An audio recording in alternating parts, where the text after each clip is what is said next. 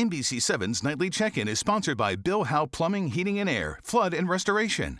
We know how. Ignoring public health orders again and taking it up a notch. A local church takes a stand and holds indoor services. Thanks for joining us for the Nightly Check In. I'm Mark Mullen. Awaken Church has been holding services against public health orders for more than a month now, and county efforts to stop the church are falling short. We've made this decision not out of defiance, but out of obedience to God. Well, this past weekend, Awaken Church decided to move back indoors to celebrate the church's 15th anniversary at three of its locations.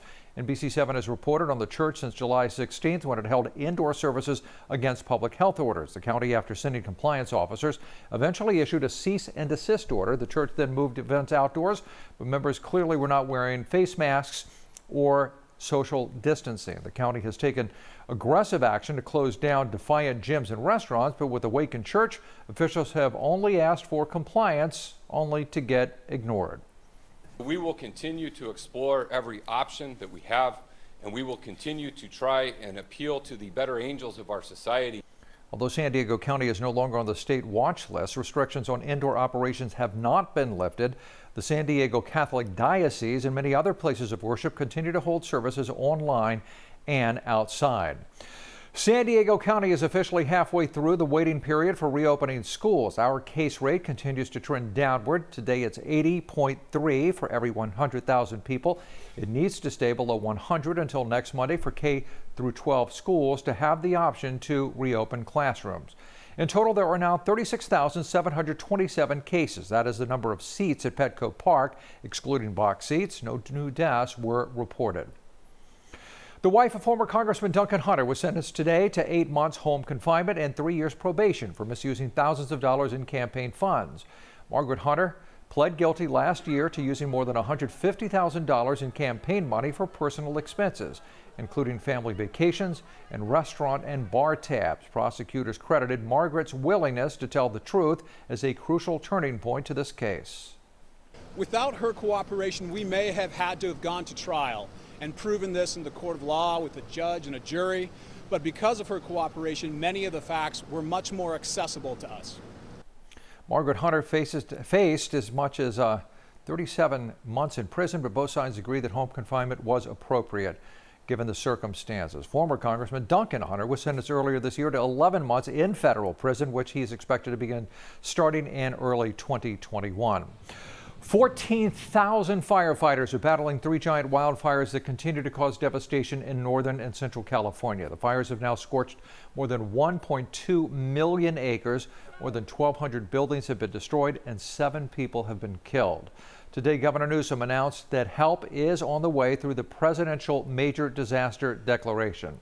This will provide resources and more flexibility, resourcefulness, as well as direct aid individuals, uh, not just direct access to the state of California and its mutual aid system in terms of equipment, personnel, and other support. The LNU complex fires are burning more than 350,000 acres west of Sacramento. The SCU complex fires are burning east of San Jose and have grown to more than 347,000 acres.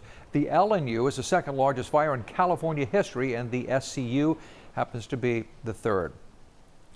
Well, at least one of the benefits of the warm weather down here is the warm water. Since last month, the water off our coast has jumped almost 20 degrees in some places. The National Weather Service says the heat is also blocking winds from blowing the hot water away, so the warm water will last as long as it is hot outside. Speaking of, let's check in with uh, meteorologist Crystal Eggers with the heat for the week.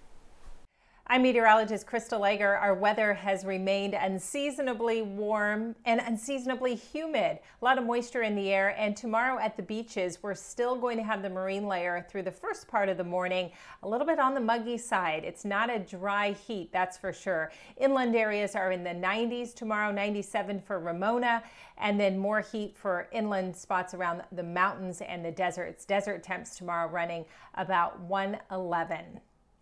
Well, we are nearing the final week now for NBC7 and Telemundo 20's Clear the Shelters, Adopt and Donate campaign. We've done this all month long, connecting you to hundreds of animals across San Diego County. Let's meet Laguna. He is a two year old domestic short hair cared for by the Rancho Coastal Humane Society. They say he is a confident cat and well socialized. Just one of many animals looking for a forever home.